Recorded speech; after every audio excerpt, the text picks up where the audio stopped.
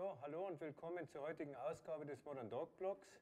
Und wie wir auch angekündigt haben, ist heute der Tag, wo Aaron sein neues Zuhause findet. Aaron ist natürlich bei uns der Hauptgast und liegt, wie ihr alle sehen könnt, hier auf der Theke. Und äh, bei mir im Studio ist äh, der Holger. Der Holger Hoffmann ist der zukünftige Besitzer von Aaron. Und äh, Andi, den habt ihr ja schon beim letzten äh, Post oder beim letzten Videoblog schon gesehen. Andi, hallo. Hallo Klaus. Und jetzt wollen wir euch natürlich ein bisschen was dazu sagen, was passiert ist nach dem Post vom Aaron.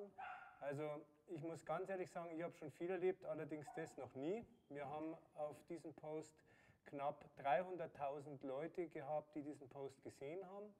Es sind mehrere hundert E-Mails an Bewerbungen rausgekommen. Die Sabine ist äh, vollkommen überfordert am Schluss gewesen. Sie hat nicht mehr gewusst, was sie machen soll. Also es sind jeden Tag 30, 40, 50 E-Mails äh, äh, angekommen und die mussten alle ähm, bearbeitet werden und sondiert werden. Letztendlich haben wir ganz, ganz viele tolle Plätze gehabt. Dafür nochmal recht, recht herzlichen Dank an alle. Es war wirklich ein Wahnsinn. Ihr habt Kommentare geschrieben, ihr habt äh, uns mit Fragen bombardiert. Also es war wirklich toll.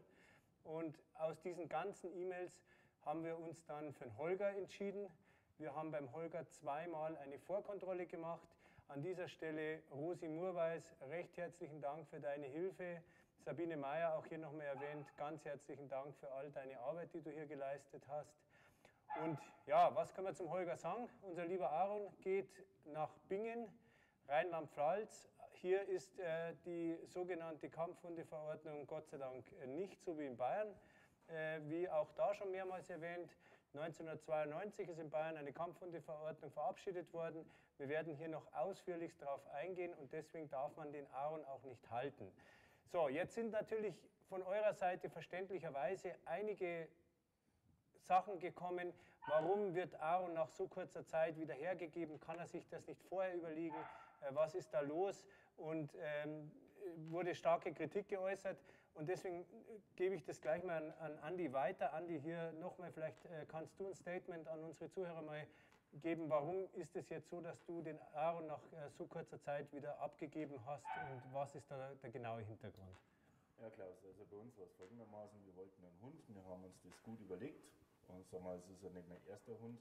Also ich habe schon mehrere Hunde gehabt in meinem Leben. Bei Aaron ist folgendermaßen gelaufen.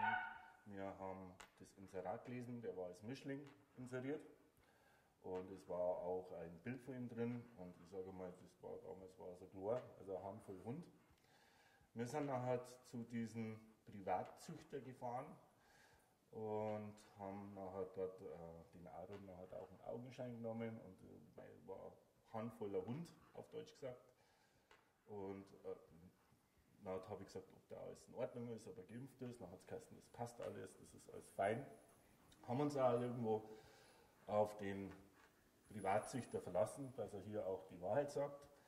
Wir haben noch einen Aaron gekauft, haben auch sehr viel Geld dafür ausgegeben, äh, sind nachher heimgefahren, sind natürlich auch mit ihm sofort in die Tierklinik, dass wir ihn checken lassen, ob alles in Ordnung ist. Haben wir nur impfen lassen, chippen lassen, also das volle Programm. Haben ihm seine ganze, seine ganze Ausstattung gekauft, das ist auch nicht billig. Und ja, und nachher hat die Tierärztin bei der Tierklinik gesagt, also er schaut eher aus wie ein Pitbull. Also er hat so den Anschein wie ein Pitbull. Und äh, dass wir so einen Hund in Bayern gar nicht halten dürfen. Dann habe ich gesagt, wir haben einen Mischling gekauft. Sagt sie, nee, sie ist der andere Ansicht. Und ja, zum Glück habe ich ja noch irgendwo einmal zu dir nachher gekommen und du hast mir nachher dementsprechend auch dein Statement dazu abgegeben. Also es war dann, es war dann ja so, dass wir dann ähm, äh, hier im Modern Dog Blog äh, unter der Rubrik Wir helfen ähm, den Hund ja vorgestellt haben. Es hat äh, hier mehrere Leute sich den Hund angeschaut und äh, es wurde dann eigentlich äh, schon zu fast 100 Prozent hier signalisiert, dass es hier sich um einen in Bayern sogenannten Kategorie 1 Hund handelt und äh, deswegen wurde auch dem Andi nahegelegt, dass er diesen Hund hier nicht halten darf und das war auch letztendlich der ausschlaggebende Grund, dass er sich dafür entschieden hat, diesen Hund äh, an einen wirklich guten Platz zu geben. Ähm, es, äh, Andi hätte es sich natürlich leicht machen können und dem Züchter den Hund wieder zurückzugeben. Auch da wurde von eurer Seite hier mehrere Posts äh, abgegeben und äh, wurde gesagt, warum hat er den nicht wieder zurückgegeben? Diese Möglichkeit hatte Andi natürlich, aber Andi hat gesagt, äh, er verzichtet auf das Geld. Auch das möchte ich hier nochmal sagen. Er hat also äh, vom Holger Hoffmann also kein Geld gewollt, sondern für ihn war einfach wichtig, dass der Hund auf einen tollen Platz kommt. Das war für ihn das Entscheidende und das Geld war für ihn nicht entscheidend. Der Holger im Gegenzug hat natürlich jetzt eine kleine Schutzgebühr an den Tierschutzverein bezahlt. Holger, auch hier nochmal recht herzlichen Dank dafür. Und ähm, jetzt wollen wir natürlich den Holger mal zu Wort kommen lassen und äh, erzähl uns doch mal was zu dir. Wo kommt der Aaron hin? Äh, und äh, sag uns einfach mal was. Also der Aaron, der kommt nach, Mai, äh, nach Bingen in der Rheinland-Pfalz. Und äh, ich habe auch einen Hund, eine Godot-Dogge, die ist fünf Jahre alt, ein Mädchen. Und ja, bei mir wird das mit Sicherheit richtig gut haben. Also ich habe viel Platz, viel Auslauf, er ist nicht alleine am Tag über.